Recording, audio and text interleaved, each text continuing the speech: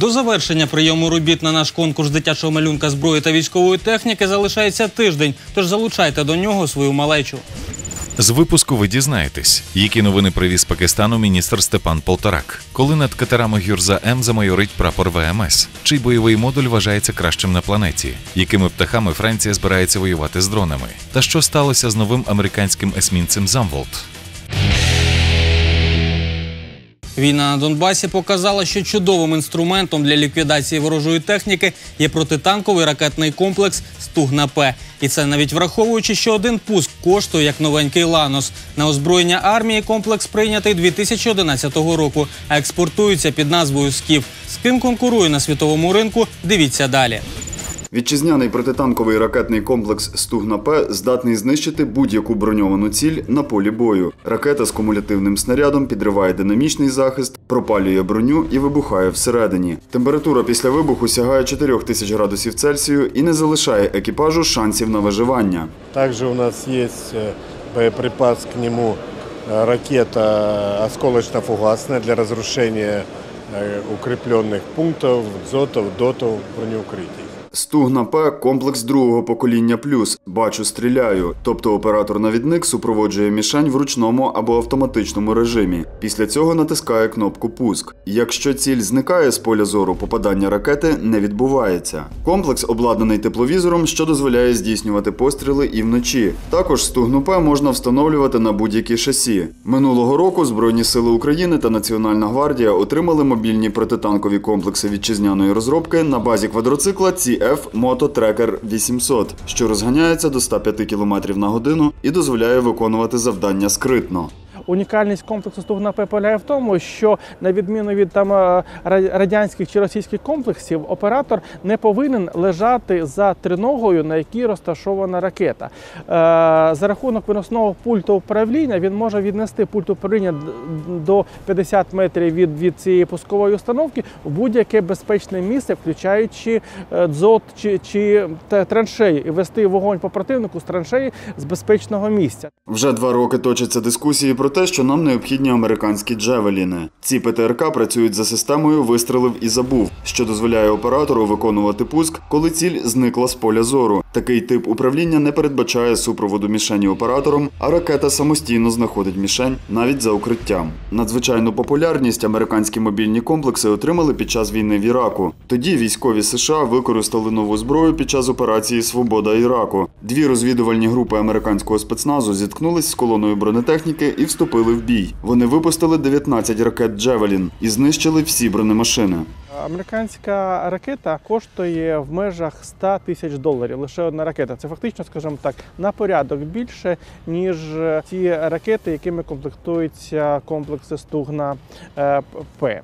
Для більш ширшої оцінки стугни П ми порівняли його з трьома найновітнішими світовими протитанковими комплексами: це американський Джевелін, японський Type 01 ЛМТ та французько-німецький Мілан 1 АР. Українська стугна П має найбільший калібр і дальність польоту ракети вдень та вночі. Лідером за максимальною швидкістю боєприпаси є Джевелін, що розвиває 1044 км за годину. Найпотужнішу пробивну здатність демонструє Type 01.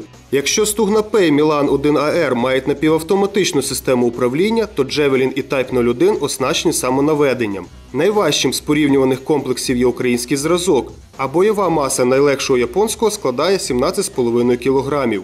Відмінністю стугни П від іноземних аналогів є лазерне наведення, яке подає промінь не на ціль, а у хвіст ракети, і таким чином направляє її. Загалом проти мобільних протитанкових комплексів поки що не вигадали засобів боротьби. Єдиними перешкодами на їх смертоносному шляху є пилюка або густий дим, а туман та дощ навпаки покращують влучність.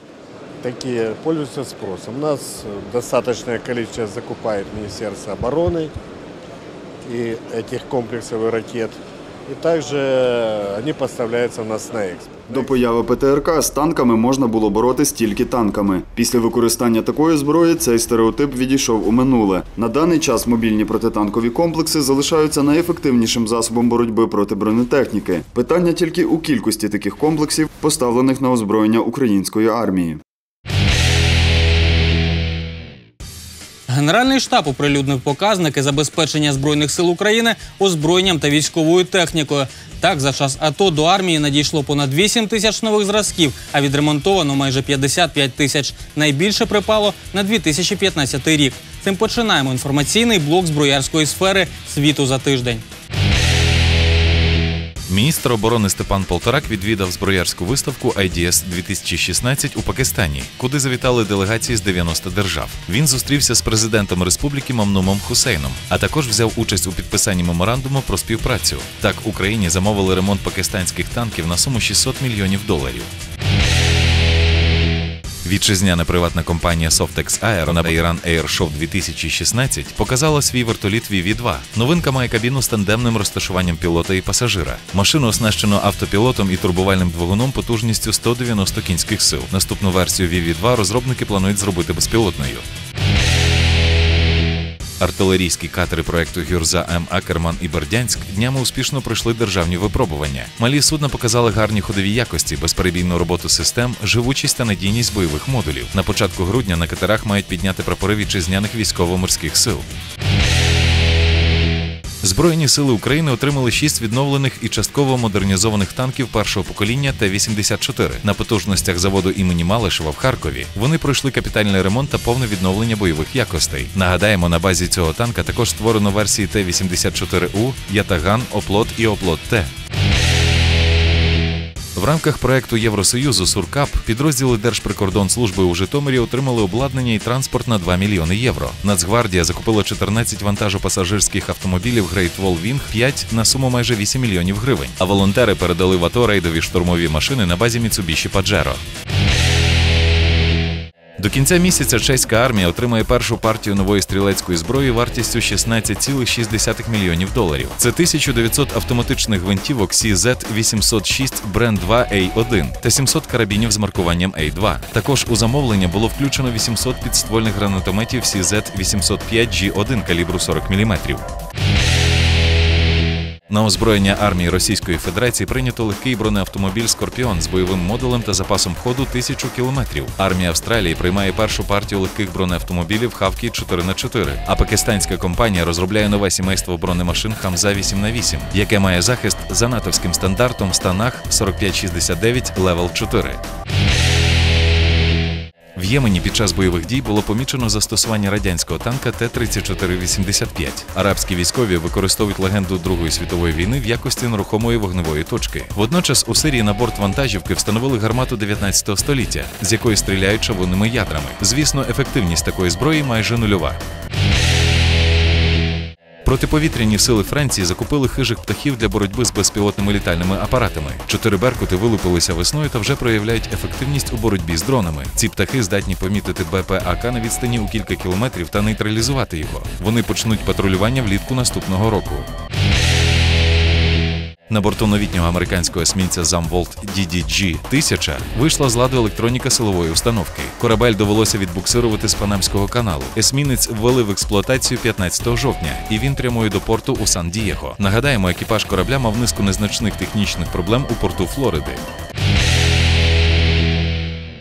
У 21 столітті в світі почали активно розробляти бойові модулі. Вони забезпечують бойову потужність нових машин та можуть стати значним кроком вперед в ході модернізації старої техніки. Цим напрямком займається з півсотні компаній світу і України. Зокрема, про останні тенденції створення такого озброєння дізнаєтесь за мить.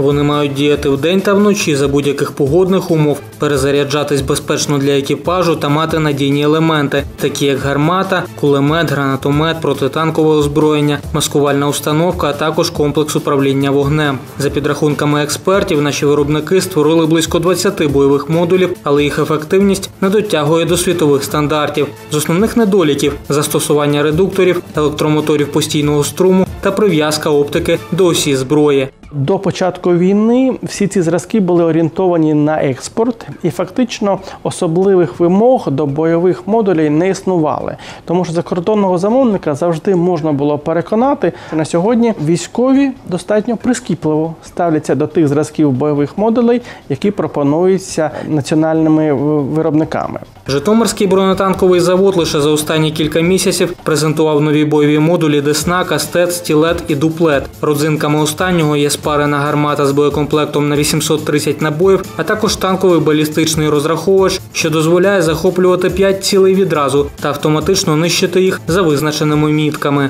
Огневая мощь повышена за счет применения второй 30-мм автоматической пушки. Два спаренных пулемета, гранатомет и четыре птура на направляющих. Гранатомет, допустим, развязан на другой оси, которая управляется отдельно от пушек, что позволяет на этом модуле достичь более полного и, и полной эффективности ведения огня сразу из нескольких видов вооружения. Хоча вітчизняною новинкою року можна вважати бойовий модуль Тайпан, який вперше показали на виставці Адекс 2016 у Азербайджані. Його спарений ГШ-23 керується зсередини та має у запасі 500 боєприпасів. Специфічну форму розробники пояснюють боротьбою з пилом. оснащен системой стабилизации, системой распознавания цели, системой захвата и ведения цели.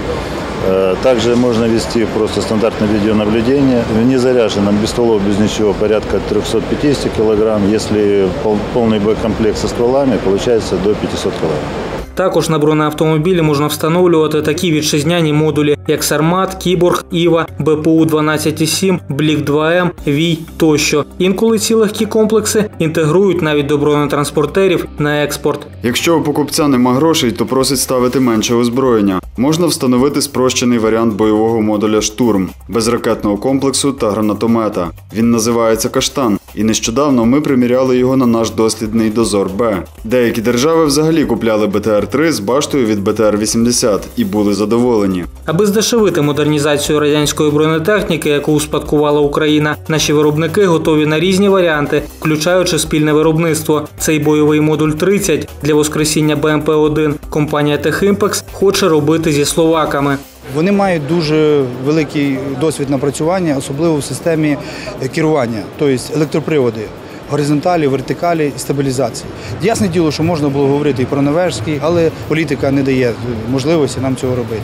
Наш співрозмовник не випадково згадав про бойові модулі норвезької компанії Консберг, які у світі вважаються еталоном. Вже 17 тисяч дистанційно керованих зразків цього виробника поставлено до 17 армій світу для 26 типів бойових машин. У 2007-2014 роках найбільшим замовником модуля М151 Протектор версії Кровс 2 для застосування в Іраку та Афганістані стали американські військові. Коли американські транспортери е, Страйкер поставили оці норвезькі е, бойові модулі е, Протектор, то вони могли на 70% економити боєприпаси, тому що цей модуль забезпечує гарантоване влучення цілі з першого пострілу. А ми, щоб влучити в ціль з пушки ЗТМ-2, насправді вистрілюємо кучу боєприпасів, при тому, що розуміємо, що боєприпасів 30-мм у нас бракує. Ізраїльський модуль Самсон також став доволі успішним і присутній у арміях дев'яти країн. До активних розробників варто віднести і Великобританію, Бельгію, Німеччину, Францію, Італію, Польщу, Бразилію, Китай, які постійно покращують характеристики бойових модулів. Проте особливо українських виробників непокоїть ініціативи російських колег. Наши противники и враги пошли на 57-миллиметровое орудие. Серийно они не выпускают, но э, модуля, которые они делают с с 57-миллиметровой автоматической пушкой, они уже имеют дальность прямого выстрела до 6 километров, да, и осколочно-фугасным до 12 километров. Мы сейчас э, стреляем бронебойным из, из нашего оружия, которое мы производим в Украине, бронебойным до 2 километров и до 4 километров осколочно-фугасным. Наші інженери не пасуть задніх і також готують далекобійну альтернативу прототипам агресора. Але їм також варто розуміти, що Збройним силам України потрібна якість, а не довгий список різновидів вітчизняних бойових модулів. На сьогодні це все, і ми вже готуємо для вас свіжий випуск. З нього дізнаєтесь про навчальні стрільбища та Гелендваген в арміях світу. Побачимось.